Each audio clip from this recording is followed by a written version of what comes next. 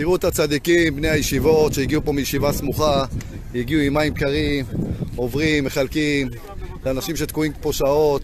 צדיקים, אתם פה משדה חמד? מאיפה אתם? מטרת שלמה? כל הכבוד, שיזכו למצוות, נכון? נהדרים, שיהיו בריאים.